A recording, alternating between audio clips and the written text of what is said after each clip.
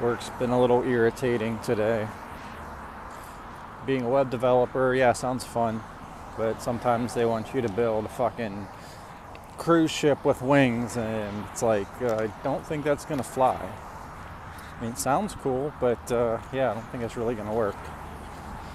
But that's why I get out and take a walk and get to look at the beautiful area, get my mind off of nonsense code.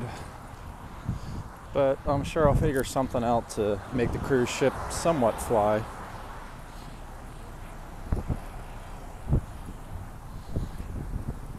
And that's about it for this morning.